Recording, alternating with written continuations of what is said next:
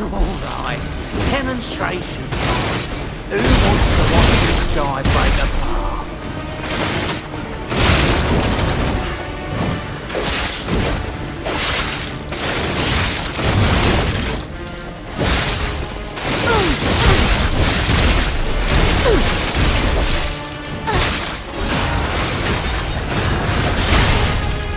Should I have trained harder?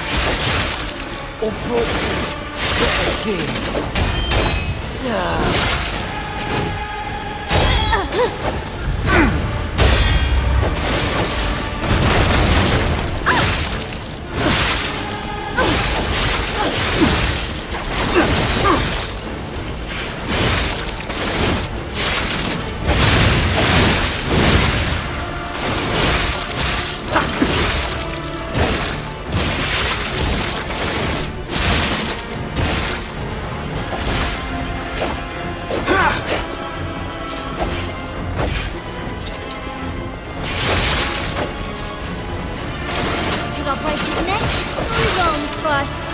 your request.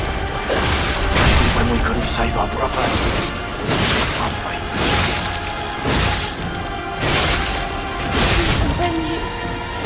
That stupid puppet. Peter.